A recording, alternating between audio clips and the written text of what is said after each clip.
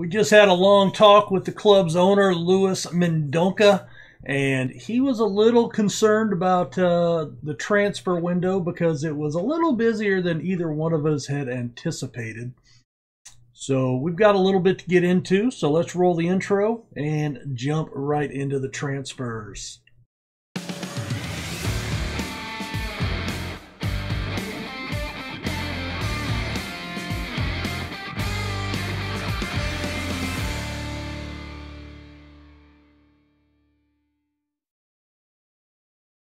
Hey guys, RC here. Welcome back to the Bielsa Journeyman Football Manager 21. This is episode six of our third club with Leicester City. Don't forget, hit the like button if you like what I what you see here and what I'm doing. That's the way you support the channel. Thank you very much for that. Subscribe and hit that notification bell. We have daily Football Manager content here on the channel, Monday through Saturday, six days a week. Sunday, the only day that I take off. And that day's not really resting because I'm usually recording and rendering and uploading that day. Just trying to stay ahead for the work week. But uh, anyway, hope you guys are doing well. Let's get into it. As you can see, we have 219 million left in the bank. We have dropped to 77 and a half million in the transfer budget. Uh, there's plenty of money here, right? plenty of money. Uh, taking a look at recent news, we are third in the league on payroll expenditure at 6.58, just in front of West Ham, trailing behind, uh, or just in front of Swindon, I'm sorry, and trailing behind Norwich and league leading Everton. Uh, averages $110 million a month with an average spend of 4.6 million per club. So the median average is down here around 12th for Watford. Real quick, playing a little catch up. Let's take a look at the comp at the schedule. So last episode ended up with the uh, FA Cup third round loss to Brentford two to one. We beat Shrewsbury five 0 Andrew Andrew Mykhitaryan with four goals, Gomez Santos with a goal, Portsmouth a 3-0 win, Menza, Cernan, and Carpenter off the bench with goals. A nil-nil draw with Lincoln, who are in the top four, and Birmingham 5-0 win. Mykhitaryan picks up a brace, Menza and Carpenter with goals, and we just beat Walsall 4-0 and that was just before the transfer deadline day. Jordan Mensah Andrew Andrew Mykhitaryan with goals, Cernan with a brace. So our goal scorers are still performing. Taking a look here, getting you caught up. 22 goals from 25 starts for Mykhitaryan across all action. 19 and 27 for Cernan. 16 and 30 for the loanee, Jamie Romaine. And then we also have 12 from Jordan Mensa. And we've got Gomez Santos and Nogami looking to get to double figures.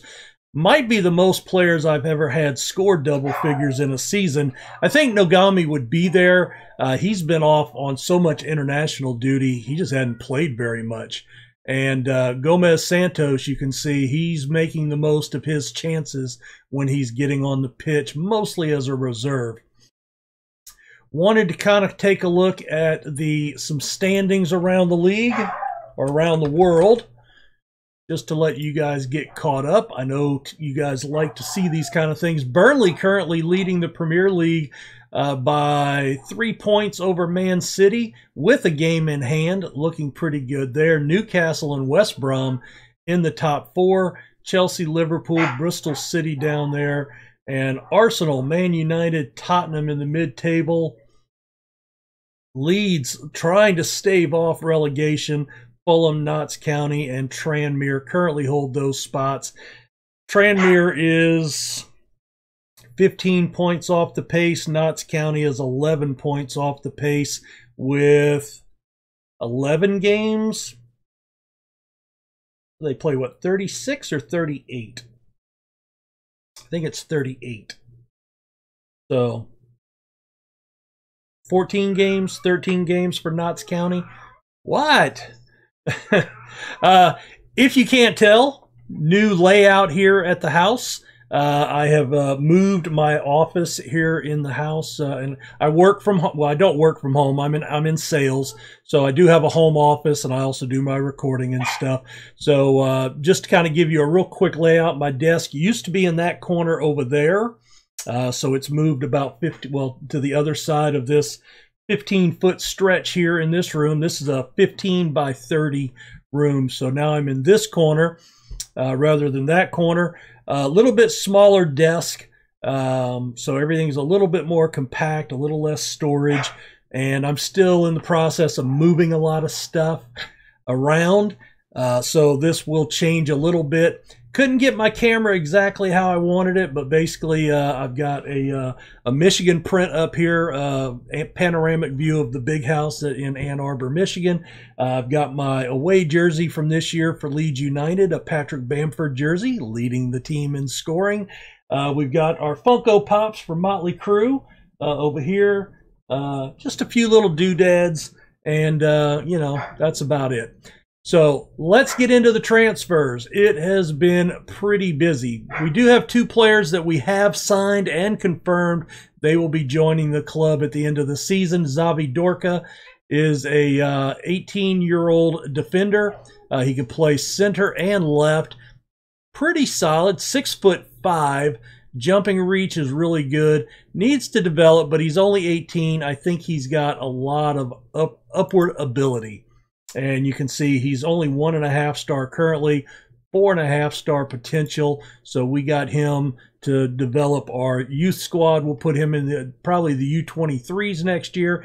Eugenio Falsatini uh, from Milan. He joins us for $11 million. Center back, six foot three, 16 jumping reach, 13 heading. Very, very solid. Good stamina, good work rate all those things that Bielsa loves that I uh, that I am trying to follow suit, and uh, he will be building for the future as well. So let's take a look at what happened during the month of January. As I mentioned last episode, Kay Van Essen did play his last game for the club. He's off to Olympiacos for $13 million. Zach Corbett, our captain actually, but wasn't playing a ton. Only four matches, two starts, two off the bench. Uh, he ends up going for five and a quarter to Aston Villa. Uh, Andre Staniklescu goes to Luton for one and a half. He was he was doing a good job for us, but he was more of a number ten, which we're not playing with.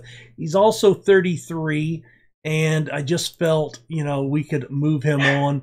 Uh, we did pay 6.75, or Leicester did years ago, but um, you know since we've taken over, uh, just hadn't really played for us. He's he's done he's done some bits for us, but he was expendable. Uh, we moved him on.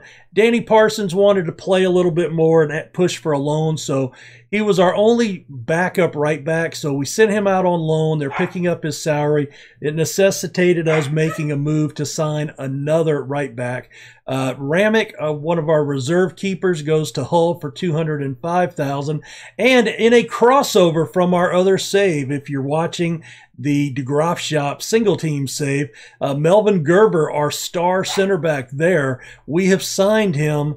Uh, and loaned. We have signed him and then loaned him out to Blackburn in the championship, and uh, he's got five star potential. We picked him up for 3.2 million from De Graafschap and uh, looking forward to him developing five star potential. I believe it was five star potential, four and a half maybe. How does this happen? Okay, we sign a guy for four hundred seventy-five thousand, right? He comes in, he starts 22 matches, allows 20 goals, and has seven clean sheets with a 7.01 rating. And we've sold him for a $500,000 profit to the team that's chasing us, Everton. How crazy is that? Uh, so he joined them uh, just just yesterday. So he has not played for them yet. Uh, it'll be interesting to see if he's going to be their number one or if he goes in as a backup. Because we moved some keepers or a keeper in Ramick, I wanted to, well, Van Essen too. Van Essen left. I needed to sign a reserve, right? the guy that I signed was actually, in my opinion, better than Rollinson. And then I made another offer on another keeper to be a true backup for us, and that made Rollinson expendable. So crazy days. I wasn't expecting that. Was not a move I was anticipating making, but that's how it goes. Uh, Sebastian Amann, I think we talked about him. Uh, he comes in on loan from uh, Eintracht Frankfurt, our former club. Uh, he is a right back, so he'll be in the mix there. Uh, Jay Gibbon is our new starting keeper, 25 years old, three and a half star ability. Uh, he's pretty much maxed out already. Lincoln bought him from Everton for 53 million, and he's played a lot for them. By the way four starts, four clean sheets. And that Lincoln match that we drew, he stopped a penalty. He, he had an actual save on a penalty shot by his former club in the waning minutes of the game, like the 86th minute, um, to, to preserve a draw. Outstanding start. So he is our new number one. My dog is not happy to be outside. Uh, Manuel Chasson from Famili- Famalicão. Uh, Chow, $2.8 million, a 20 year old Venezuelan, three star current, four and a half star potential. He is a left winger, very, very pacey, pretty good work rate off the ball, determination, decision making, uh, very astute crosser of the ball as well. So, looking for him to come in we you know we do have Romain out there. Romain's probably going to be the starter the rest of this year, but Romain's on loan from Chelsea. This guy's going to be our starter definitely next season. We had gotten an offer for Lindorfo, and it was a pretty good size offer, and we were still concerned about losing Michael McNeil, who had been who had asked to be put on the transfer list by the way. He signed. He has now signed a new contract and said he's happy to stay at the club. So uh, anyway, but we were concerned about losing both of those guys, and we've also been inundated with offers on Rush, our other center back, left back person. So I, I said I'm I really need to look at a center back. So we signed Andre Panchenko wasn't really happy with the deal after I got him, but look at this six foot five, 20 jumping reach, 14 heading. I'm thinking he might be really good on set pieces. Just my thought. But he's only started uh, one match and he did okay, 7.2 rating. But you can see two and a half star current, three star potential, uh, not the upside and he drove a hard bargain. I'm probably going to move this guy on pretty quickly, probably in the off season, only because he would not accept anything other than important player, and I wanted to make him a squad player. That was the re- recommended, but this was kind of a buyer's pinch, I think. Turned out we didn't need to do that, so I'm probably going to move him on. Uh, here's the other keeper we signed for $15 million, Jan El Batubi, Batabi, three-star current, five-star potential, very solid, and uh, he's allowed three goals in one friendly. Uh, not the start I'd like to see from him, but that's why he has been relegated to backup. Juan Pablo Maney from Penarol for 2.7. He'll be in the right back mix. Six feet tall, two and a half star current, five star potential, 18 years old from Uruguay. And uh, he came up from Penarol, went to Sevilla on loan, and we have snapped him up for a relatively low fee, 2.7 million. Uh, Drazen was a transfer deadline signing. We already had him on the books. Uh, we were just waiting on his uh, work permit. He comes in for 17 and a quarter, 26 year old Croatian. The only reason I signed this guy was the the guy we just talked about, uh, Panchenko. One of the things that he wanted was to strengthen the midfield.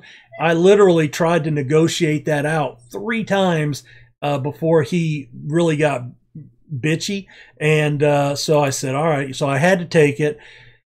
And now I kind of wish I hadn't, but we so we went out, we signed this guy in an attempt to strengthen the midfield. He is pretty good, three star ability, 26 years old, 10 under 21 caps for Croatia. Uh, very good physicals, off the ball's good, passing's good, dribbling is solid. So he can play out on the wing, uh, which will give some competition out there next year when Romain goes back to Chelsea, but also hopefully counts as strengthening the midfield. And Nogami comes back from Japan. He's been gone for a month.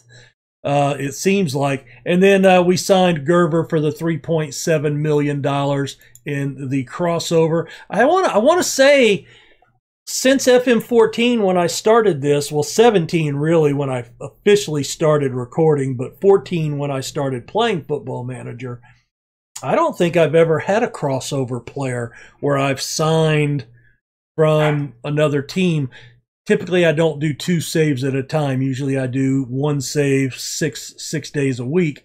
But uh, remember, you guys said to go back to three days a week, and it seems to be working. So kudos to you guys. Uh, there's the transfer roundup, the high the high signings. If you're interested, uh, there is your championship wrap up. Uh, 77 million by Norwich, including 31 and a half on one center back.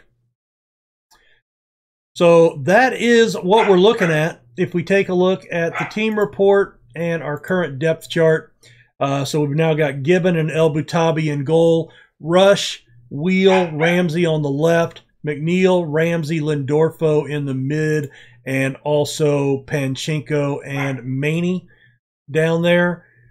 Giving depth, Felix and Maney on the right, Wheel, Nagami, Day, and uh, Stygian Henson's in the mid. Henson's Mensa is uh, getting the start on the right with Henson's in the mid, but uh, you know we've got a lot of depth out there on the left. Uh, Chacon, Kolik now in with Romain giving some depth on that left wing. Mikatin, Cernan, Gomez, Santos, and Carpenter up top in the striker position. So that's where things are at transfer wise. Uh, in the competition, we're currently 72 points after 30 matches. Uh, there are 46 matches in the championship, a very long and congested season. We're on a plus 75 goal differential. I don't think I've ever had a plus 100 goal differential. So we are shooting for that this year. That is the goal, what I'm hoping to see. Fingers crossed. Uh, that would be something astounding. And uh, we only have a four point lead on Everton, however. Uh, but in the automatic promotion, we do have a 12 point advantage over Norwich. So that is good. Today we are going to play, or we're going to have highlights for Nottingham Forest, and then we'll play Luton on camera. So let me get up to the Nottingham Forest game. We will look at the highlights for that, and then we'll play Luton after that. You know, it was really strange. I was noticing, not being a Leicester City fan in real life, I was looking at the uh, thing. They don't really have any fierce rivalries, which I thought was interesting. Uh, there's a rebound off of Mikatin to Mensa. Mensa slots that home for our first goal. First minute of the second half, over the top. Cernan chest it down. I thought he was going to get this shot off. He plays it back to Menza, who slots it across the keeper. His second goal gives us a 2 0 advantage. Then he beats the keeper Hayward for a penalty to get his hat trick, giving us a 3 0 advantage. We looked really solid there. Rush up to Romain. He plays it over to Mensah, who beats the keeper at the near post. What a game. Four goals and two in three minutes for him. And then Romain comes in and gets a late penalty for the sealer. 5 0 victory, four goals from Jordan Menza, player of the match. What a game for him. We're going to give him some praise. Definitely. And six in a row without a loss. So there's the highlights from that. We'll be back to play Luton in just a second. Here's what I meant. I was looking at this. There's no fierce rivalries, and they only have Nottingham Forest is a local rival, Derby's a local rival, and Coventry. So everything's local. That's really weird. Are they, you guys let me know in the comments? Are they the only club? And I'm sure this is pretty accurate, right? That they don't have that they don't have any real true rivalries. That's insane. well, you know, I don't know. Let's take a look at the team selection.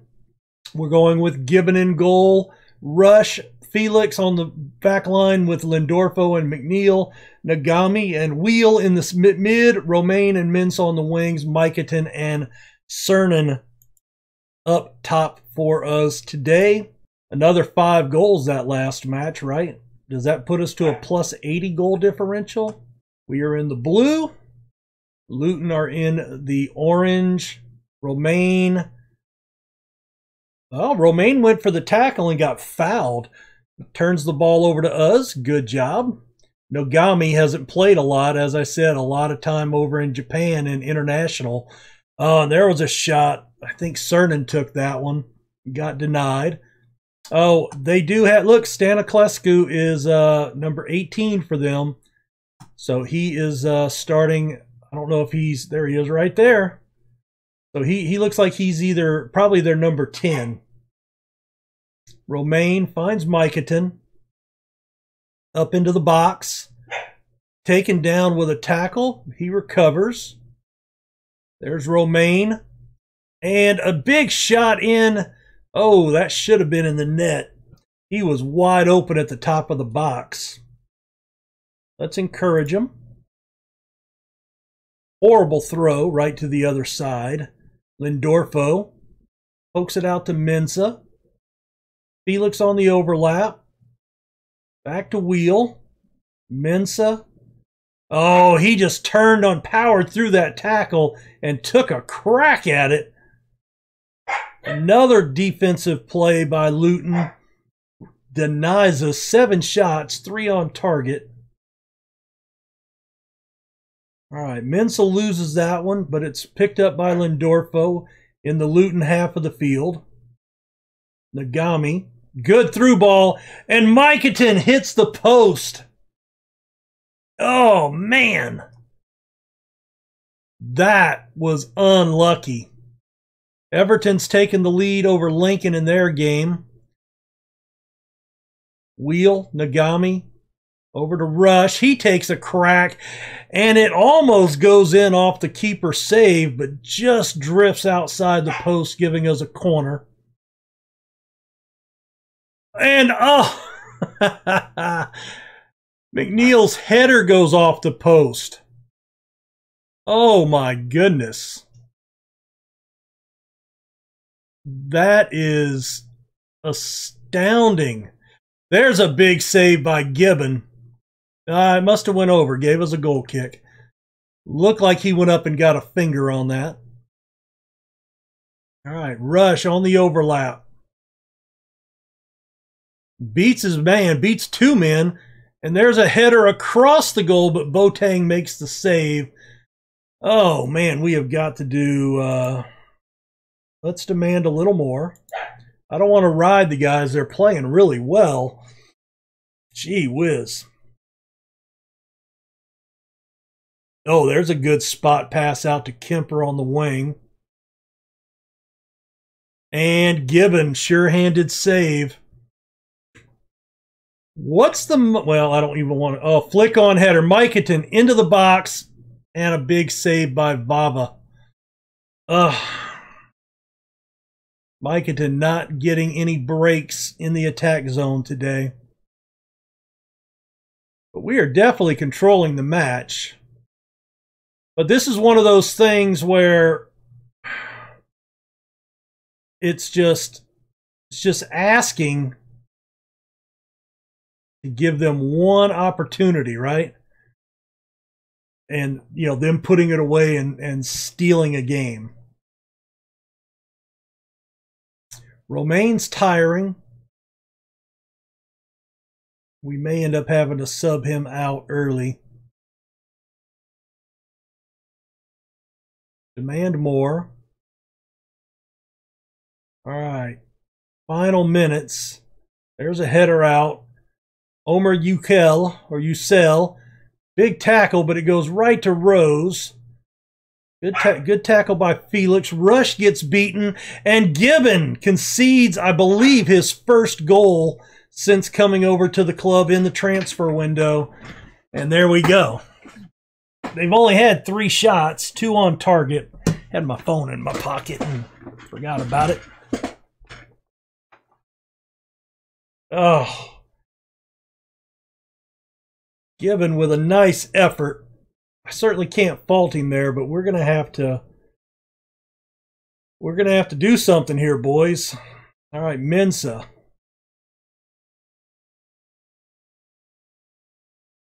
Rush building from the back. Romaine picks out Cernan. Cernan slots it home. Vava could not get his foot across, and there's the equalizer. And wait a minute, what the hell happened? Was he offsides? I really regret, you know, one of the things that I liked on the old football manager was you had the little bar at the top where the goals showed up, and you could go back and look at it, right? Uh, I don't know. I don't think he was off sides. Um, I'm going to point the finger. Expect to see a much better showing. Going to demand more. Felix on the run. He Gets tackled away. 15 shots to 4, 1.51 to 0.33 on the XG. Wade into Nagami, nothing comes from that.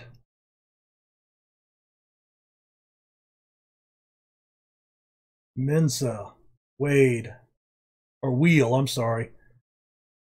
Oh, he couldn't find it. Rushes into the zone. And it's a header from Jordan Mensa. Jake Rush with the assist. Boy, I don't know how he threaded that ball through there, but that was astounding.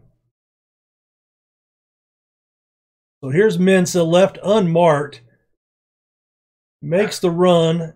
Oh, just, and it went right through Surden, Simley, and Botang. That is incredible that he got that through. Definitely a seeing eye.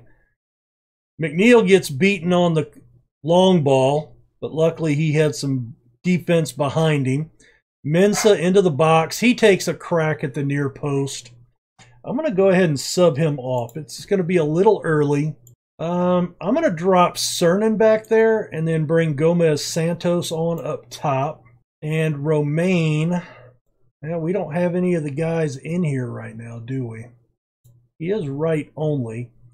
All right, let's bring let's bring him in for Romaine, and then we will make him a inside forward. Where he, he cuts in and can use his dominant foot. I think he has the ability to do that business out there. Good ball. Mikatin into the box, one on one, beats the keeper. Number 23 on the season. Nogami with the assist. And that spots us out to our first lead in the 51st minute. That is really good. Good news. All right, we're going to make those subs. We'll see how that works out.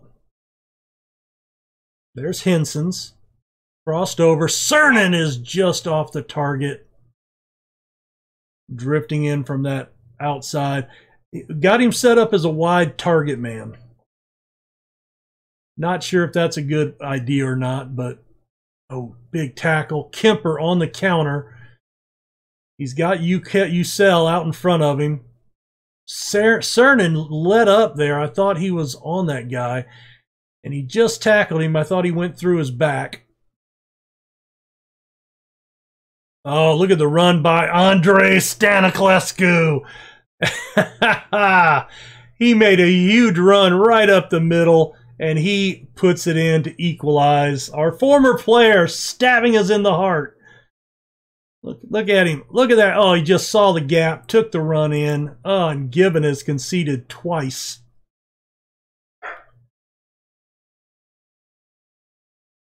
Over to Cernan. Out to Hen. Oh, and my God, that went off the crossbar too. Oh my goodness. You have got to be kidding me. We've got to demand more here. Felix looking for some space. Wheel. There's a crack from Nagami at the edge of the box. Good save by Botang to push it wide. Gives us a corner. McNeil can't get his head to the ball. Miketon brings it back up. Into the attack. Cleared away. Come on, fellas.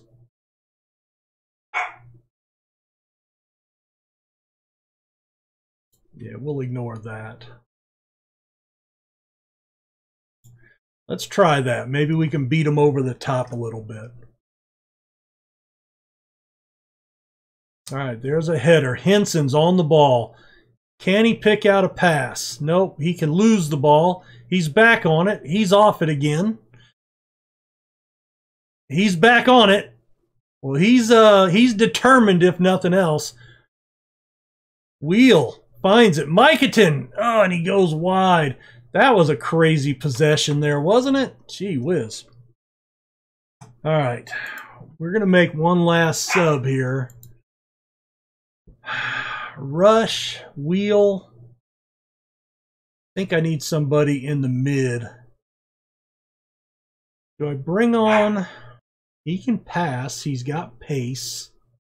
I don't know why I'm thinking that's just real stupid to put him in there. But he could pick a header on a set piece, couldn't he? Let me look at Day. I'm going with Day. I can't, I can't do that. I can't do that. Plus that guy. Oh, by the way, yeah, he's throwing a fit. I may have mentioned this and just forgot. Um, Panchenko's throwing a fit that we didn't try to strengthen midfield. So the guy that I signed wasn't good enough for him. Uh, we are going to demand more. We don't have any more subs.